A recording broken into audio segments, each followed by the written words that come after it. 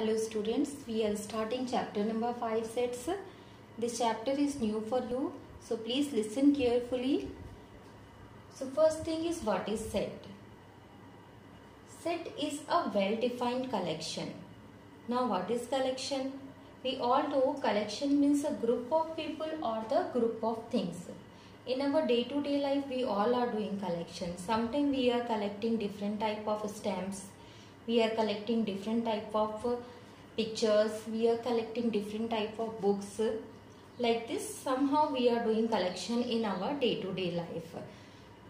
Now if our collection is well defined means we can give a proper name for our collection we can define our collection then we will call it a set. I have taken here few example to explain you the difference between collection and set so first example is collection of all the interesting book. In this example, this word interesting is actually not well defined because if we talk about a book, maybe a particular book is very interesting for me but the same book is boring for you. So this first collection is not a set, we will call it only a collection. Now second example collection of all vowels of English alphabet. We know what are the vowels in English alphabet? A, E, I, O and U. So this second example is well defined. All of uh, us we know A, E, I, O, U are the vowels of English alphabet. So this second example is a set because it is well defined. Here it is mentioned vowels of English alphabet. Third example, collection of natural numbers less than 5. So what are the natural numbers less than 5? 1, 2, 3 and 4. So this third example also is a set because it is well defined. It is mentioned here we have to take natural numbers and less than 5. Fourth one, collection of all days of a week. So this one also if we talk about all days of a week means we are talking about Sunday, Monday, Tuesday, Wednesday, Thursday and Friday, Saturday. Seven days are there. So this fourth example also is a set. Now fifth example collection of three days of a week. Now in this fifth example it is mentioned three days but we don't know which three days it is mentioned. It may be Sunday, Monday, Tuesday or it may be Tuesday, Wednesday, Thursday. So it this collection is not well defined. Here which day we have to take it is not mentioned properly. So this four, fifth example is not a set. It is just a collection.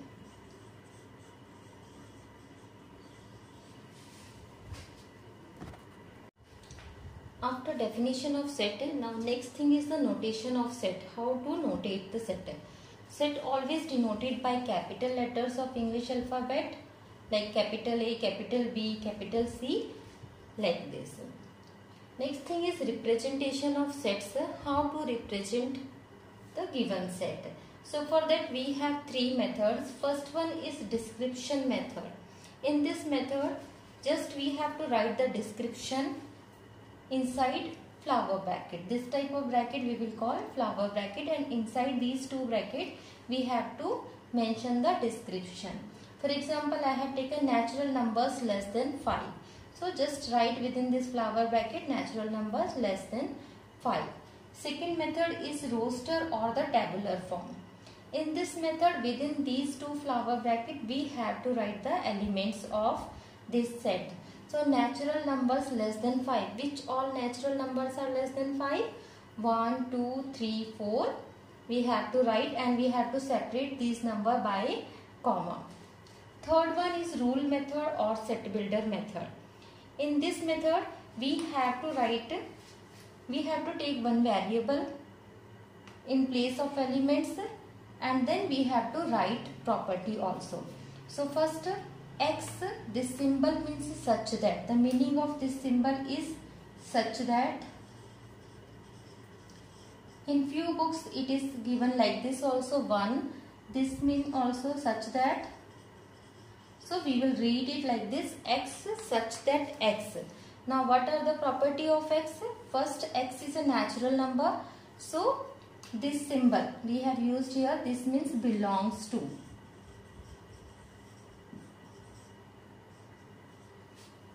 x belongs to natural number then another property another property x is here less than 5 so symbolically we will write x is less than 5 within this flower bracket.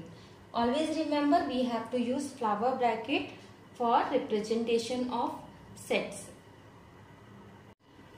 Next we have type of sets.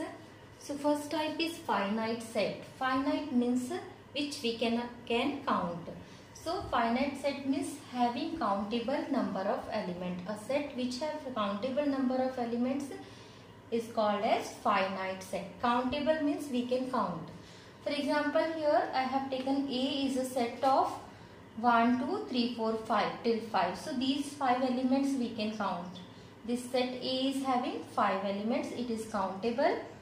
Second example B all days of a week. So we can count how many days are there in a week. 7 days are there. So this one also is countable. So these two sets are finite set. Second type of set is infinite set. Infinite is the opposite of finite. It is countable. It is uncountable. If a set is having infinite elements then we will call it uncountable or infinite set.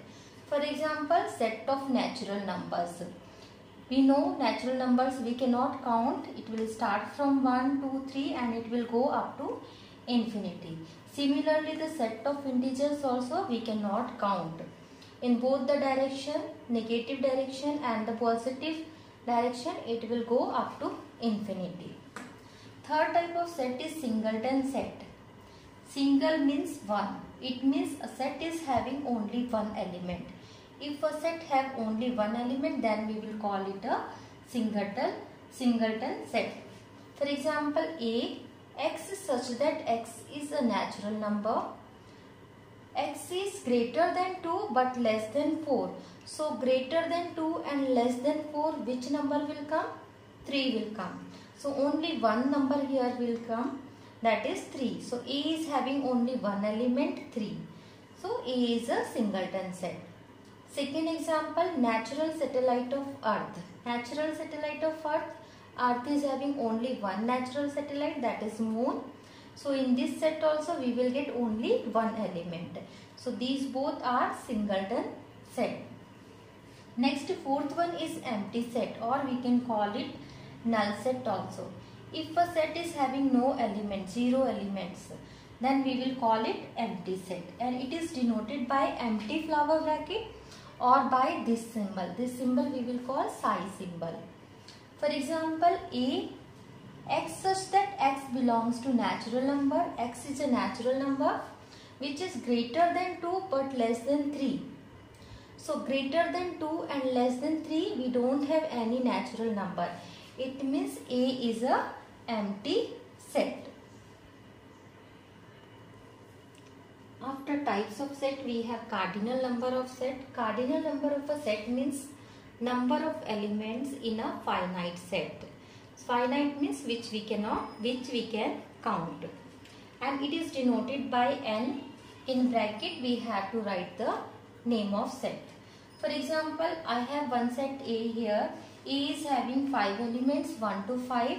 Then cardinal number of A is n in bracket A we have to write and we have to count 1, 2, 3, 4, 5. So cardinal number of A is 5. Second example B is vowels of English alphabet. So B is having 1, 2, 3, 4, 5 elements. So cardinal number of B is 5. Like this we have to write cardinal number.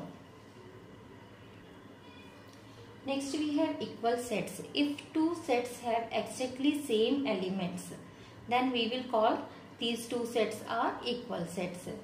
You can see here first example I have taken A is having three elements A, B, C and B is having here four elements you can see A, B, A and C. but in sets if any element is repeating we will count it once only. Repeated element we will not count. So here a is repeating two times but we have to count only one time. And arrangement also if it is different suppose it is written b a c then also doesn't matter. We will count it it a b and c only. So a is having three elements a b c. B is also having three elements a b c so both a and b are equal sets. A is equal to b. Another example p is x such that x belongs to whole number. P x is a whole number here which is less than 4 so less than 4 which of whole numbers will come? Whole numbers will start from 0 then next 1 then 2 then 3 we have to take less than 4 so we will stop here so p is having 4 elements 0 1 2 3 4 and q is also having 4 elements 0 1 2 3 so you can see here P and Q are equal element, equal sets. So P is equal to Q.